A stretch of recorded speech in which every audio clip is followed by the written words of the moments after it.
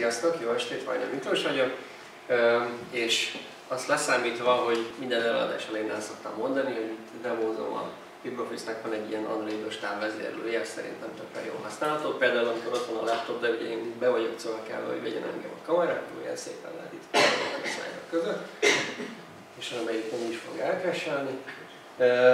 Szóval de most ez az előadás nem erről fog szólni, hanem valamikor február elején lett hivatalosan bejelentve a LibreOffice 5.3, ami egy nagy kiadás, évente kétszer szokott ilyen lenni, és abban van egy csomó újdonság, meg csomó új bejavítás, meg ilyesmi, és mivel régebben a meetupnak ilyen az volt a formátum, hogy tömören beszéljünk valamiről, aztán ha érdekli az embereket, majd úgyis beszélnek az előadóval, úgyhogy gondoltam, hogy úgyse lehet mindenről beszélni, úgyhogy ez egy ilyen szubjektív ajánló lesz, nagyrészt olyan dolgokról, amit részben vagy teljes egészben én követtem el. Úgyhogy ezzel kapcsolatban nyugodtan lehet kérdezni, mert el lehet rá válaszolni, és egy csomó minden más, ez meg van ilyen hivatalos kiadási megjegyzések, és akkor ott lehet nézegetni, hogy milyen újdonságok vannak. Az első ilyen újdonság, amiről szeretnék beszélni, a Writer-ben táblázat stílusokat tudunk most már végre kezelni. Ezt úgy kell elképzelni, hogy korábban, hogyha volt egy soksoros táblázat, és mondjuk felváltva szerettünk volna hátteret, mondjuk fehér meg valami színes hátteret a egyes celláknak, akkor hát ugye lehetett azt, hogy kézzel megformáztuk. Ennél egy fokkal okosabb volt, volt egy ilyen táblázat automatikus formázása, amivel egy gyakorlatilag stílust rá tudtunk tenni a táblázatra, de azt egyszer jegyezte meg, tehát az akkor úgy ki lett töltve, mondjuk felváltva, de ha újabb sorokat hozzáadtam az aljára, akkor az nem, nem kaptam meg ezt a felváltva háttérszínezést. Aztán ez dupla nekifutásra, egyszer egy, egy nyáron egy tanuló neki állt, és ilyen Summer of Code keretében megpróbálta ezt szépen megcsinálni, amit úgy kezdett, hogy ezt az automatikus formázást funkciót ezt kitörölte, ezzel ugye egy hónapot töltött körülbelül, és utána elkezdte nulláról megcsinálni ezt a táblázat stílusos dolgot, hát nyilván nem fejezte be, és gyakorlatilag ez a kód így elveszett. Tehát, hogy hát megvan, de hogy mai, mai LibreOffice-ra már nem, nem használható, tehát ez egy ilyen kudarcba fulladt dolog volt. És Hát ennek a projektnek a mentora az annyit azért igyekezett meg, tart, vagy megmenteni ebből, hogy ugyan kézzel nem lehet, ugyan így stílusként nem jelent ez meg, de pár felhasználói felületen végzett műveletnél, például mondjuk az aljára beszélek új sorokat, vagy törlök sorokat, vagy új oszlop, vagy ilyesmi, amikor új elem jelent meg a táblázatban, akkor ezt az automatikus formázást újra rátette a táblázatra. Ezzel egyfajta ilyen stílust, mint felhasználó kaphattunk, de hát ez még messze volt a tökéletestől.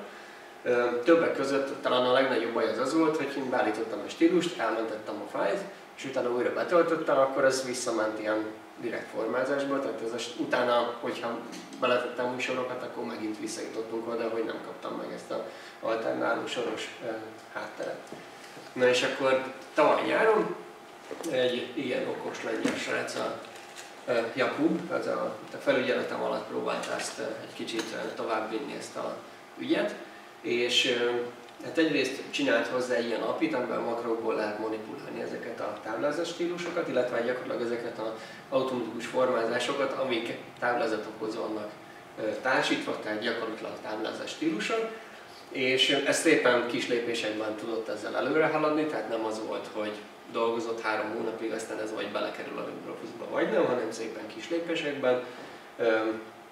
Utána csinált hozzá egy felhasználói felületet is, és hogyha a oldalsávban ezt a stílusok és formázás ilyen oldalsávot behívjátok, akkor most a, eddig is volt ilyen paragrafus formázás, karakter stílusok, lista stílusok, stb. És van egy ilyen táblázat stílusok fülecske is, és ott ezek az automatikus formázások megjelennek, rá lehet tenni táblázatra, elmentve ODF-be ez meg is marad, visszatöltve továbbra is megkapom ezeket a tehát a stílus az meg fog jelenni, hogy változtatom a táblázatnak a modelljét, tehát ez már egy egészen használható valami. Persze még most se tökéletes a dolog, a táblázat stílust alapvetően úgy lehet csinálni, illetve alkalmazni egy táblázatra, azt, azt jól lehet, azt itt a táblát, az oldalságban kiválasztom, de például új táblázat stílus csak úgy tudok csinálni, hogy kézzel megformázok egy táblázatot, és ilyen azt mondom, hogy ez az egy példa, a példa alapján vált ki ezeket a szabályokat, hogy mondjuk alternáló sorok. Sokkal jobb lenne, hogyha lenne ilyen explicit dialógus ablak is, ahol ezt így meg lehetne mondani, hogy melyik oszlopra vagy sorra miért, mit szeretnék, ez még hiányzik, de ez szerintem a használhatósági szintet nagyjából most érte el ez a funkció. Mennyit a writer táblázatokra. Több slide is lesz a ilyen különböző PDF dolgokról. Ez leginkább azért van, mert, mert így a 5.2 és 5.3 között elég sok időt töltöttem a, a, mind a PDF betöltés, PDF kezelés, PDF bementés, ilyesmi témákkal. Az első téma így a PDF-en belül az, az, hogy eddig is lehetett PDF-eket PDF-ben menteni, meg, illetve exportálni, és exportálás során digitálisan ezeket alá is lehetett írni, ezeket a PDF-eket. Viszont egy PDF-et egyébként nem csak egyszer lehet aláírni, így egy aláírt PDF-et, hát az egész PDF-et újra alá tudom írni, és ez a végtelenségig fokozható. Na ilyen nem már nem tudtunk mit csinálni, illetve egy korábbi aláíratlan PDF-et se tudtunk aláírni. Tehát alapvetően azt, amit az ODF-es dokumentumoknál a felhasználó esetleg megszokott, hogy, hogy az aláírásokat, mintha csak lenne egy listám, és lehet belőle törölgetni, hozzáadni, és akár az összeset kitörölni, stb. Ez, ez a PDF-nél nem volt megoldott, alapvetően vagy nem volt aláírva, vagy egyszer alá volt írva, és ezzel be volt fejezve a történet. Ha valaki ennél többet akart, akkor használja mondjuk az akrobatnak a fizetős cuccait, és akkor azzal ezt meg lehet oldani. Na ez, ez lett most itt ránc felvarva. Tehát először is az egy dolog, hogy mi generálunk egy aláírás, de most már egy aláírt PDF-et le lehet ellenőrizni LibreOffice-ban, tehát meg lehet nyitni, az a dróban megjelenik, és ott meg tudom, ki tudom listázni az aláírásokat, és megnézhetem, hogy ezek érvényes aláírások vagy nem. Ezen kívül nem csak egyszer az export során tudok, hanem aláíratlan vagy már aláírt PDF-eket is tudok újra aláírni, illetve ami még szerintem elég menő, hogy az EU-ban van egy ilyen ADES nevű aláírási szabványjavaslat, keretrendszer valaminek nevezzük, és ennek van XMR-re is egy verziója, ez a XADES, és PDF-re ez meg a PADES. Ennek alapvetően az a lényege, különböző szintjei vannak, de az alapszint az biztosítja, hogyha én egy megfelelő tanúsítványjal aláírok egy ilyen fájlt, az jogilag is kötelező érvényű legyen ami egyébként eddig ezekről az ODF-es digitális aláírásokról nem volt elmondható, tehát nagyon szép, hogy alá tudom írni, matematikailag be van bizonyítva, hogy ezzel az azonosítói kulcsal valaki ezt aláírta, de én egy bírósági perben ezzel nem megyek semmire. Ez viszont leírja azokat a minimális követelményeket, amiben az EU belül, ez már jogilag is kötelező érvényű, tehát egy lépés abba az irányba, hogy ne úgy kelljen egy szerződést aláírni, hogy kinyomtatom, aláírom, beszkennelem, és akkor viszem egy e-mailbe, a szkennelt szerződés, hanem hogy tényleg ezt lehessen már digitálisan, és lehetőleg szóval szoftveres alapon, saját képemen, és a többi. Igen. Nem, másik irány. Aztán egy másik ilyen PDF-es dolog, hogy aki ilyen nyomdai előkészítő munkákkal foglalkozik, az sokszor belefutatott eddig abba, hogy szeretik a grafikusok elkészíteni egy-egy képet, vagy valamilyen kisebb illusztrációt valamilyen vektoros formátumba, és akkor, amikor elküldjük őket, hogy nem Photoshopba kérjük, nem InDesignba, stb. valami szabályos formátumba, akkor mi lesz a közös nevező, az, hogy egy PDF-et kapunk. Amit képként, úgy mint egy PNG-t vagy egy SVG-t nem lehetett eddig beilleszteni a LibreOffice-ba, na, ezt most már lehet. Ez az 5.3-ban még úgy működik, hogy, hogy ugyanazt a képet kapom, mint hogyha a dróban megnyitottam volna a PDF-et. Az eredeti PDF adat az megmörződik, tehát később a PDF-et ki tudom menteni a doksiból, de nem egy tökéletes renderelés. A drogba való PDF megnyitásnak leginkább az a lényege, hogy ez egy szerkeszthető valami legyen, nem az a lényeg, hogy a, a megjelenése az pontosan ugyanúgy nézzen ki, mint egy PDF megjelenítőben ez majd az 5.4-ben már javítva lesz, de most ez nem tartozik ide. Aztán a, ezt a muffines témát csak azért hozom, mert a Balázs, amikor kérte, hogy adjak elő, akkor egyből ezt hozta fel, hogy nyilván mindenkit ez érdekel, ez nekem semmi közöm nincsen, de hogy nem mondják, hogy nem szerepelt, akkor szerepel. Ennek a Máfinos ilyen felhasználói felület koncepciónak az a lényege, ez egy ilyen kísérleti funkció, tehát külön be kell kapcsolni a kísérleti funkciókat, és utána lehet kipróbálni, hogy ahhoz képest, hogy régen, régen volt ez a gyakorlatilag Office 2003-nak megfelelő menüs felhasználói felület, ahol amellett van összesen négyfajta felhasználói felület, amik között lehet váltogatni, és akár együtt, akár külön-külön használni, és attól függően, hogy kinek mi tetszik, mivel a leghatékonyabb, azt megkapja és azzal dolgozhat. Van ez a standard eszköztár, ami, a, ami, ami eddig is volt, akkor egyrészt van egy ilyen egy, egy darab eszköztáros mód, ami gyakorlatilag a Google Docs-nak a megfelelője, tehát aki azt a Google Docs-ot nagyon megszokta, és nagyon idegesítő őt a 56 darab eszköztár, ami alapból megnyílik a LibreOffice-ban, az, az kérhet egy ilyet, és akkor egy számára ismerős felületet kap. Azon kívül van ugye ez az oldalpanel, ami már talán 5.0 óta meg volt, vagy valami ilyesmi. Van némi átfedés a dialógus ablakok, meg ezek között az oldalsáv panelek között. Ennek az a lényege, hogy éppen amivel foglalkozom, tehát egy grafika, vagy éppen egy táblázat, vagy egy felsorolás, ilyen kontext szenzitíven, ahol éppen van a kurzor, annak megfelelően jelenít meg funkciókat, és azzal tudok valamit dolgozni és akkor elvileg ugye ez, ezzel gyorsabban tudok mondjuk egy, nem tudom, egy képet átméretezni, vagy, vagy egy listának a stílusát beállítani, ahhoz képest, hogy megnyitom a menüben a megfelelő dialógus ablakot, és oda el.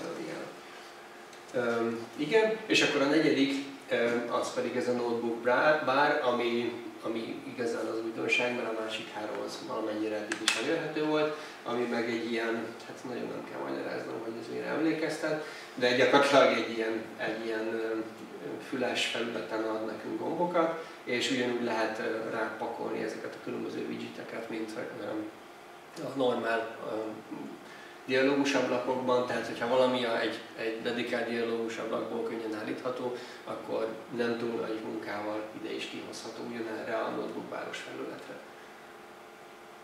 Hát aztán, hogy ebből mit fognak szeretni az emberek, meg mit nem, azt majd, az majd alakul meg visszajelzéseken múlik, de azok, akik azt mondták, hogy mindenképpen a LibreOffice-nak is erre kéne átállnia, és így lesz minden szép és jó, azok legalább most kapnak egy ilyen felületet is, aztán majd, majd alakul, hogy melyik lesz ezekből a legnépszerűbb. Na és a végére hagytam egyébként, ami szerintem még egy nagyon izgalmas dolog, hogy a LibreOffice-hoz hozzájáruló több nagy cég közül. A Collabora elég sokat foglalkozott azzal, hogy a LibreOffice egy böngészőből is elérhető valami legyen, megint egy ilyen Google Docs vagy Office 365 jellegű dologra kell gondolni, és ez már egy ideje futott, de ez mindig úgy volt csak elérhető, hogy fogtam egy fejlesztői, nem stabil LibreOffice online-os kódot, meg egy nem stabil LibreOffice fejlesztői változatot, és ezek együtt tudtak valamit a dokumentumból megjeleníteni a böngészőben. Az 5.3 az első olyan kiadás, amikor egy leválasztott, stabil kiadási ágból van az onlineból is, meg magából a LibreOffice-ból is egy egymáshoz tartozó ág, és ezt használva lehet ilyen böngésző dokumentum szerkesztéshez jutni. És ez az egyik, ami érdekes lehet, aki ebbe valamit barkácsolni akar, az esetleg az kap valami kicsi stabilabbat, mint hogy csak ezt a master branch-et használná. A másik, hogy ez, már, ez a történet már egy ideje fut, és ami most ilyen nagyobb újdonság az az, hogy eddig ilyen shared editing volt, amit úgy kell elképzelni, hogyha több ember megnyitotta ugyanazt a doksit, akkor volt egy darab kurzor, és akkor lehetett azzal játszani, hogy én gépelek, a másik az meg belekattint máshova, és akkor én máshova gépelek. Szóval aki öm, állított már be olyan VNC elérést, hogy többen tudtak a keyboard meg mouse eventeket generálni, az ismeri ezt a dolgot, hogy így el lehet rabolni egymás kurzorját, na itt ugyanaz volt a, a játék. És gyakorlatilag a, a LibreOffice-nak ezt a több ablakos dokumentum szerkesztését, ami eddig is ö, létezett, csak nem nagyon ismerték az emberek, ö, arra leképezve ö, egy ilyen kollaboratív szerkesztést is el lehet érni böngészőben. Tehát itt most a screenshoton egy ilyen nagyon egyszerű példa van, hogy én itt kijelölök egy szót, itt látom, hogy villog a kurzorja a másiknak, a másik is látja, hogy én kijelöltem az egészet, az én kurzorom meg ott áll középen, és hogyha én most nyomok egy delete akkor ezt a kurzort azt szépen kimozgatom a szélére, és csak utána fogom törölni a szót. Tehát ezek az ütközések, amikor um, valaki, amikor két ember egyszerre csinál valamit, ezek valahogy feloldódnak, és így az a, az a um, reményünk, hogy erre végtelenül bonyolult teóriákat lehet gyártani, hogy hogyan kell ilyen szerkesztési ütközéseket feloldani. Nekünk így annyi a stratégiánk, ilyen optimista ütközéskezelés, hogy egyből, tehát valamit csinálunk, valahogy magunktól ezt eldöntjük, és azonnal mutatjuk a felhasználónak, hogy ha nem az történt, amit ők akarnak, akkor egyből meg tudják szerelni, illetve van egy ilyen időgépszerű funkció is, amivel vissza lehet menni, tehát hogyha mondjuk én valamit gépeltem, a másik az meg kontroll, aki jelölte az egészet és delete, akkor, akkor vissza tudom állítani a korábbi verziót is. Hát ennyi lett volna mondani való, így dióhéjban a teljesen önző és som szerint a LibreOffice.3-ban ilyen újdonságok vannak. Nem tudom, hogyha vannak kérdések, akkor arra megpróbálhatok válaszolni. Igen. A PDF fájlás, ez csikkártyával is működik, vagy csak fájlalapú Feltételezem, hogy nagyon sokfajta chipkártya van, Például a személyigazolvány működik, ezt kérdezi. Tessék? Működik-e például a személyigazolvány, mondom, az, az a kérdés. Az a kérdés, hogy csinálták. Akkor mind a kettőre, mind a kettőre válaszolni. Nem aláíró kettő. Tehát a, a chipkártyából is szerintem sokfajta van. Mi egyfajtát próbáltuk, az működik. Igen. Egyébként konkrétan ahhoz a chipkártyához csak Windows-ra volt driver, tehát csak Windows-on próbáltuk de szóval alapvetően működik. A aláírása végén Windows-on a CryptoAPI-t használja, a Linux-on meg meg meg az NSS, tehát nem találtuk ki mi a saját kriptográfiánkat, mert nyilván nem értünk hozzá. De, és, és ugye az NSS is, meg a CryptoAPI is támogat ilyen hardware dolgokat. Tehát alapvetően ez működik. Egyébként a, a, ez a magyar elszemély, az egy ilyen bonyolultabb dolog, mert ők már nem LSA-s kulcsokat használnak, hanem ilyen LCDS-át, és, és ahhoz még sok minden kéne, hogy az, az rendesen menjen. A legreményteljesebb az egyébként még Linuxon, mert ott egy nap, nagyjából nagy, napra készen est használunk, ami a Firefox-ban is van, és stb. De pont pár napja nézegettem, és még nem teljesen világos, hogy miért nem megy a dolog. Windows-on problémásabbnak tűnik a dolog, ha jól láttam, akkor a CryptoAPI az semmilyen szinten nem támogatja az ECDS-át, van ez az újabb CryptoAG vagy valami ilyesmi API, mintha azt támogatná, de hát arra átállni az meg egy nagyon meló. Úgyhogy ez a magyar elszemély, ezt, most én nem akarok senkit bírálni, de nem tudom, hogy ezt mennyire gondolták végig, hogy, hogy milyen rendszerekben mennyire lesz problémás az ECDS-a kezelés. Jó, hát ezt a kérdést most nem fogjuk megválaszolni. Igen. Az érdekelne, hogy ugye van egy ODT szabvány, igazából leírja a dokumentumnak a, a elméleti részét, meg van az implementáció, mondjuk a LibreOffice. Hogy amikor egy új fejlesztés van, akkor hogyan történik ez? Hogy először elkészül az implementáció, és utána a szabványt hozzáigazítják, vagy először a szabvány készül és igazából az új fejlesztés csak a szabványnak egy újabb implementációja? Mi azt csináljuk, hogy ha valamilyen funkciót csinálunk, tehát az ODF az megengedi azt, hogy megfelelő módon, tehát nem bárhol ír bárhogyan, de kiterjesztésként plusz attribútumokat rá lehet tenni paragrafusokra, stílusokra, stb. Mi azt csináljuk, hogy ha valamilyen olyan funkció, olyan fejlesztést csinálunk, ahol a dokumentum modell bővül, akkor ilyen kiterjesztésként írjuk bele az ODF-be, és utána az ODF-nek van egy ilyen technical committee ahol megbeszélik, hogy milyen új kiterjesztések kerüljenek bele a hivatalos ODF szabványba. Ezeket mi a egyik kollégához két hetente egy órát ezzel öl el az életéből, hogy ilyen meetingekre jár, ő ott ezeket javasolja, illetve hát a LibreOffice-tól meg azt hiszem vagy, vagy ketten vagy hárman vannak, akik, akik benne vannak ebben a bizottságban, tehát javasolnak, és hát az az ideális, hogyha mielőtt az bekerülne a szabványba, az előtt legalább még valaki más is leimplementálja ezt, mert az garantálja azt, hogy ez egy érthetően le van írva, hogy, hogy mi, mit csinál az a funkció, és ténylegesen ugyanazt is csinálja. Tehát igen, ez egy ilyen tyúk vagy tojás probléma, mi először implementálunk, és utána javasoljuk, hogy kerüljön.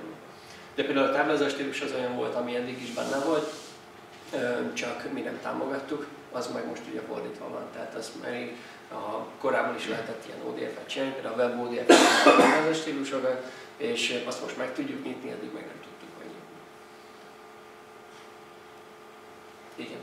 Röviden összefoglalnánk, hogy ha szeretnék csinálni magamnak egy ilyen internetes LibreOffice szervet, akkor azt mégis hogy kezdjem el? Tehát, hogy milyen disztribúció, lehet egy csomagot szerezni hozzá? Öm, most számolom, hogy szóval van, van egy halom lehetőséget. A, tehát az ilyen, tehát a, én, én úgy csinálom, hogy szépen lefordítom magamnak, és akkor az, és akkor abból összepakolom.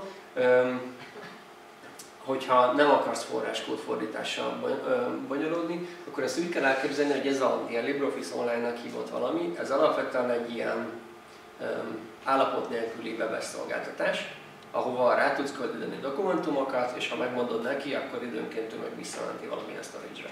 Tehát autentikációt nem kezel, storage-ot nem kezel. Ezt oldja meg más. Ehhez mi nem értünk, más meg 20 éve ezt csinálja, csinálják ők.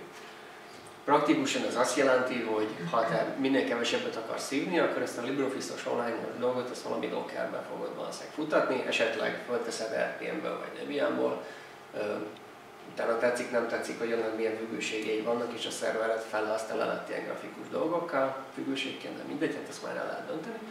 És akkor mellé valamit érdemes tenni, mondjuk szabad szoftveres világban, ilyen OnCloud, NextCloud, az például egy értelmes választásnak tűnik, mind a kettő támogatja ezt az egész LibreOffice online dolgot. Most, hogyha nem akarsz te fordítani magadnak a LibreOffice online részből, akkor ingyenes megoldásból kb. kettő van, vagy a a LibreOffice Masterből tudsz ilyen Docker image-et kapni, a, van ez a Docker Hub, és onnan le lehet ezt húzni, illetve a Collaboria is ad neked olyan csomagokat, ami gyakorlatilag az, amit forráskódból is kapnál, valamiért le van korlátozva, hogy az otthoni használatra legyen jó. Mert hogy a pénz az, az egésznek a fejlesztésére az abból jön, hogy akinek ezer felhasználó kell, tehát ilyen enterprise felhasználásra azoknak meg vannak fizetős csomagok. De hogyha valaki nagyon okos és mindent úgy beállít, és olyan fordítási paraméterek, stb., akkor ki van az egész forráskód, csak nehéz összerakni a sok komponens miatt. De hát egyrészt ez így a gazdasági modellt is ad hozzá, a másrészt meg szerintem az egy jó dolog, hogy ilyen, ilyen file szinkronizációval, meg autentikációval, meg ilyesmikkel a Bilbofizóval nem kezdtünk el foglalkozni, mert ezt már annyian megoldották, és úgyse egyszerű probléma, hogy nem értünk hozzá, szóval ez így jobbnak tűnt. Kicsit komoditással, nem tudom, félreviszem-e a beszélgetésbe, de vannak egy nagy gyártók, nagy office termékei, és hogy azok csinálnak bizonyos fajta fájlokat, és gyakori jelenség az, hogy szerkesztjük abban, aztán szerkesztjük open közül közben, aztán vissza, aztán még egyszer, és egy-két round trip után nem elromlanak a dolgok. Ugye ezzel kapcsolatban nem, nem tudom, esetleg tudtok-e segítséget nyújtani? Vagy megelőzni a bajt, vagy, vagy ismerik a problémát, a probléma ismert, nyilván a probléma gyökere az az, hogy a LibreOffice kódbázisa is, mit tudom én, 85 óta van tákolva, a Microsoft Office nagyjából ugyanilyen öreg, és eredetileg mind a ketten fütyültek a másikra, és funkciónak számított az, hogy a kettő inkompatibilis legyen, mert így lehet jól bezárni a vendor lock-in módszerrel a felhasználót. A, ez a gyönyörű hadviselés, ez ott tört ketté, hogy közben a kódbázis, az OpenOffice meg LibreOffice lett nyílt forráskódú, és onnantól kezdve nem volt politikai akadály annak, hogy ez a támogatás valamennyire fejlődjön, és valakit elkezdett érdekelni az, hogy a felhasználóknak ez rossz, hogy, hogy mennyire inkompatibilis a kettő. Nyilván kis lépésekben lehet csak haladni, tehát te annyit meg tudsz tenni, hogyha valamilyen reprodukálható mentési vagy betöltési problémával belefutsz, akkor fölmész a hiba bejelentőre, rákeresel, hogyha 5 perc alatt nem találod bejelentve a hibát, akkor csinálsz egy olyan doksit, amiben nincsen neked érzékeny adatod, és bejelentesz egy új hibát. Én is, meg sok más fejlesztő is időről időre igyekszik az ilyen mezei felhasználóknak a problémáival is foglalkozni. Ha meg nagy cég vagytok, akkor meg azért vannak cégek, hogy, hogy ilyeneket tucat számra oldjanak meg, és akkor az a, mit tudom én, van egy nagyobb cég, nekik is valószínűleg mondjuk 50 problémájuk lesz, ami őket az ő sablonjaikkal készült végtelen mennyiségű dogsírjukat érinti, és őket igazából nem érdekli, hogy be van jelentve 5000 hiba. Őket az az 50 érdekli, ami nekik kell, azt mi nyilván ki tudjuk javítani, mi visszaküldjük a LibreOffice-ba, tehát mindenkinek egy kicsit jobb lesz, nekik meg minden problémájuk megoldódik. Nem minden, de mint ami 80% annak már is örülünk. Azért nyilván ez, ez tehát teljes megoldás az, az így egyik napról a másikra nyilván nincs. A LibreOffice-nak is, meg Microsoft Office-nak is rengeteg funkciója van, mondhatnád, hogy mennyire túl van bonyolítva, persze, csak az a baj, hogyha megpróbálod ki, megnézni, mi az a 20% amit tipikusan egy felhasználó használ, mindenkinek más. Tehát nem dobhatsz ki dolgokat, mert azt hinnéd, hogy senki nem használja, kidobod, és úgy is jönnek utána, hogy de hát én ezt használtam reggeltől estig. És eddig miért nem szóltál? Hát még működött, miért szóltam volna? Szóval, hogy... Ezek szerint regressziós lesznek, ennyi is lehet ebben a kódbázis? Hát a, amikor a LibreOffice elindult, akkor gyakorlatilag semmilyen teszt nem volt az egész kódbázisra. Valami így úgy volt, de alapvetően a makrós apira volt. És hát azóta majdnem minden ilyen nagyobb kiadásnál szokott lenni egy ilyen under the hood jellegű blogpost, hogy mik azok, amik így változtak, ami a felhasználót nem érdekli. Hát például lesz, hogy hogyan nőnek a unit tesztek, mit tudom én, ilyen tízezeres nagyságrendben most már vannak tesztek. Ez se bőven nem a teljes lefedettséget, de ahhoz képest, ahol indultunk, hogy bármivel belenyúltál, és azt hitted, hogy ez úgy majd jó lesz, és semmilyen visszajelzés nem volt, csak majd három hónap múlva a felhasználótól, ehhez képest most már azért ez így sokkal jobb. Meg főleg egyáltalán az, hogy, hogy tesztet írni, hogyha már van tízezer, az kicsit könnyebb, mint hogyha az egész keretrendszert is meg kell hozzá csinálni, hogy egyáltalán lehessen tesztelni.